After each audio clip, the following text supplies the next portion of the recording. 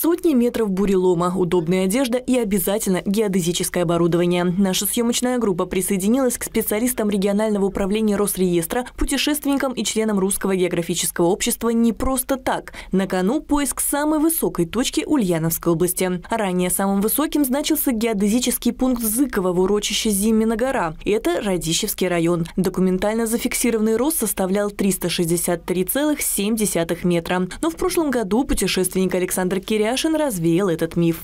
А когда я стал искать информацию о самой высокой точке Ульяновской области, было очень много противо... противоречивых данных. Кто-то говорил, что она в Новоспасском районе, кто-то говорил, что она в Павловском районе.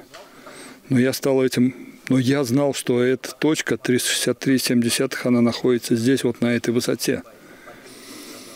Ну и я решил ее как бы посетить.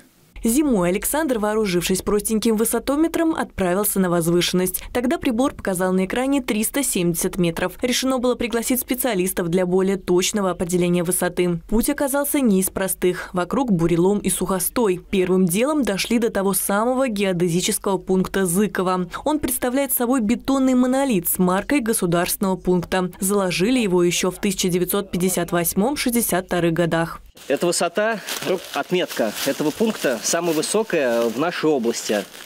Пункта, не вообще земли, а по пункту мы судим 363,7.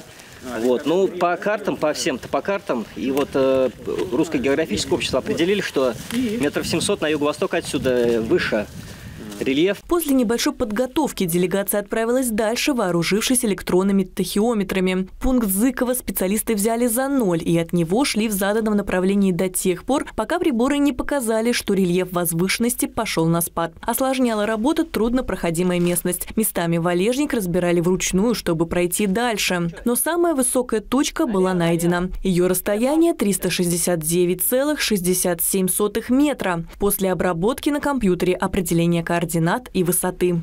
Пока я еще не ощутил, пока я еще в работе, но уже такое чувство радости наплывает. Да, наверное, когда приеду домой, я буду радоваться.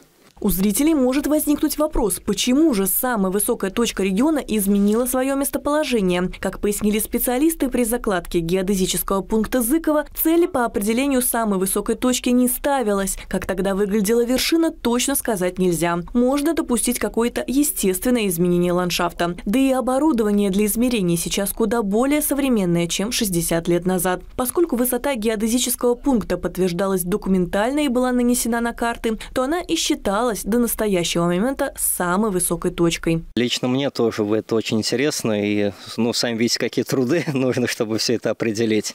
И мне будет интересно, я думаю, всем будет интересно, и вообще это в куда-нибудь справочники войдет, в школах, может быть, там краеведение, где-нибудь расскажут об этом.